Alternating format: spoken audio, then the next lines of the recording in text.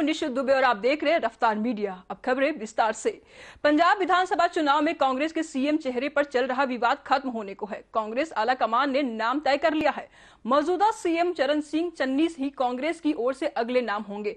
10 फरवरी से पहले इसकी घोषणा कर दी जाएगी। चुनाव में किसी तरह के नुकसान से बचने के लिए कांग्रेस ये कदम उठाने वाली है। भारी उथल पुथल के बीच चन्नी ने जिस तरह से पंजाब में कांग्रेस को संभाला है और अपनी इमेज गढ़ी है, उससे कांग्रेस के पक्ष में माहौल भी बना हुआ है।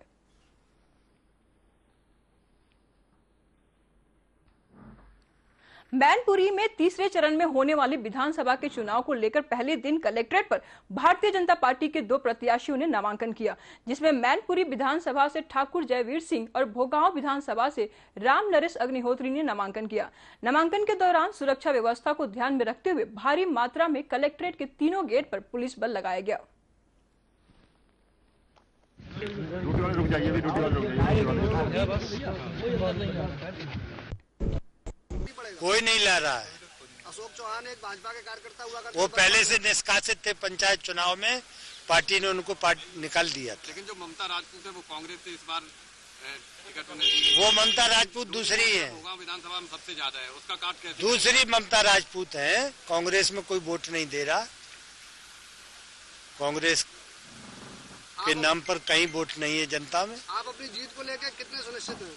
सौ परसेंट। इस बार जीते तो क्या करेंगे?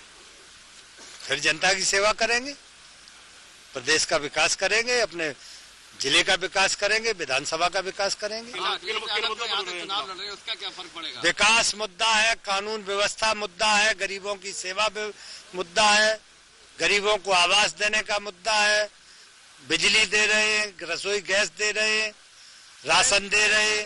चुनाव लड़ रहे हैं इसका फ़र्क नहीं पड़ेगा। आप और जनपद की सीटों पे आपकी सीट पर। कोई फ़र्क नहीं पड़ेगा उल्टा असर पड़ेगा।